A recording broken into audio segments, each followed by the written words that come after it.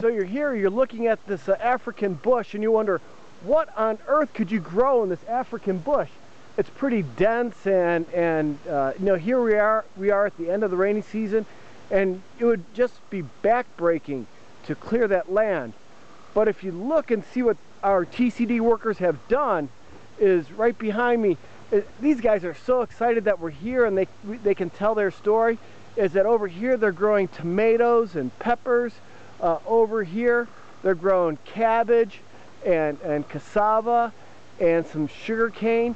And and uh, they were using one of our TCD workers land but when the government officials saw what a great job that they've done is that they've given these guys this all this land here to the whole group.